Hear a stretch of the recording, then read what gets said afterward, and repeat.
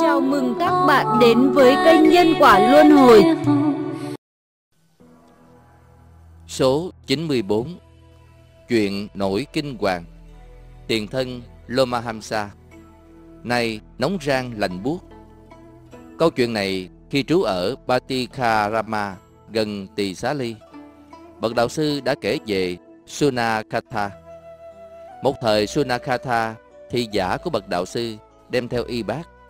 Thích thú đi theo giáo pháp của sát đế lì cô ra. Gửi trả lại y bác cho bậc đạo sư. Do duyên sát đế lì cô ra, Sunakatha trở thành một gia chủ.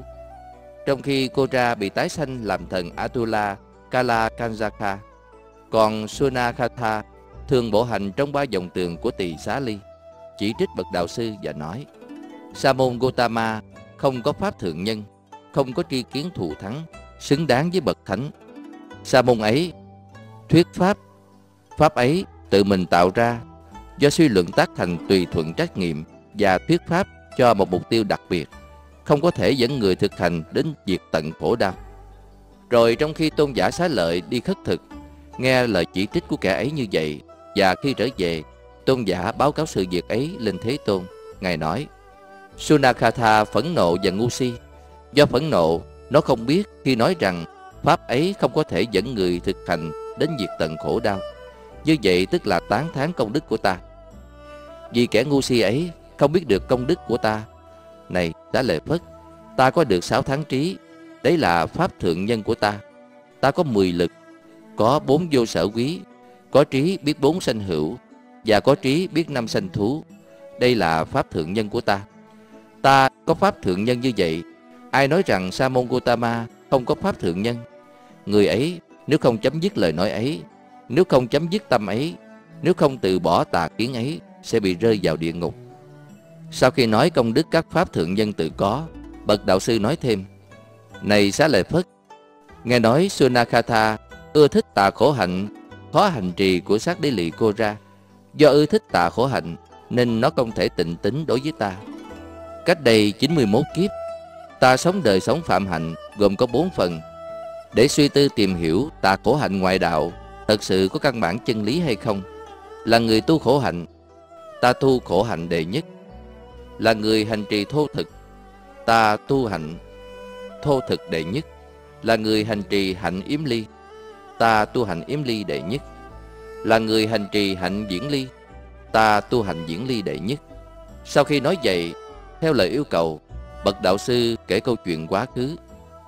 Thuở xưa 91 kiếp về trước, để suy xét tìm hiểu về khổ hạnh ngoại đạo, bồ tát đã xuất gia làm vị tà mạng ngoại đạo, sống lõa thể, thân lắm đầy bụi, sống diễn ly cô độc, thấy người liền chạy trốn như con nai, ăn các thứ đại bất tịnh như cá cuối phân bò, vân vân. Để giữ mình không phóng vật, bồ tát sống trong một lùm cây đáng sợ hãi trong rừng. Sống tại đấy, và mùa đông có tuyết trong những đêm giữa các ngày mùng 8, ngày thứ 8, trước và sau rằm. Bồ Tát đi ra khỏi lùm cây, sống ngoài trời. Khi mặt trời mọc, Bồ Tát vô lùm lại. Ban đêm, Bồ Tát bị ướt vì Ngài ở ngoài trời tuyết. Ban ngày, Bồ Tát cũng bị ướt bởi những giọt nước rơi từ lùm cây. Như vậy, ngày đêm, Bồ Tát cảm thọ khổ đau vì lạnh. Trong cuối tháng mùa hạ, ban ngày Bồ Tát sống ngoài trời, ban đêm vào trong lùm cây. Ban ngày, ngoài trời Bồ Tát bị đốt cháy bởi ánh nắng mặt trời. Cũng vậy, ban đêm, Bồ Tát bị nóng nực ở trong lùm cây không có gió. Vì thế, mồ hôi thoát chảy từ thân Ngài. Câu kệ này từ trước chưa từng được nghe, khởi lên trong trí Ngài. Nay nóng rang lành buốt, cô độc trong rừng hiểm, ngồi trần truồng không lửa, ẩn sĩ tìm chân lý. Như vậy, Bồ Tát suốt đời sống khổ hạnh khắc nghiệt với đầy đủ bốn phần. Thời học tập, thời gia chủ, thời tôn giáo, thời sa môn. Khi lâm chung, Ngài thấy tướng địa ngục khởi lên. Biết được khổ hạnh này không có kết quả. Ngay lúc ấy, Ngài phá vỡ tà kiến của mình, nắm giữ chánh tri kiến và tái sanh lên thiên giới. Sau khi kể pháp thoại này, bậc đạo sư nhận diện tiền thân. Lúc bấy giờ, ta là vị tà mạng ngoại đạo.